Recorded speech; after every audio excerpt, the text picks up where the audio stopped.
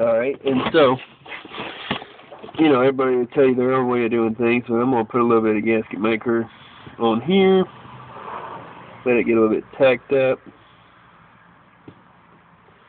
and a little bit on the uh, gasket. I'm going to go inside and do that.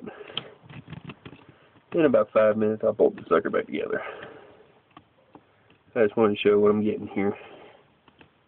You know, I'll run my finger across it, smooth it up, but and don't tighten up that bolt that's above this pipe here. How they said the little bolt, it, it's not supposed to hold it on there, avoids the warranty on the water pump. There you go.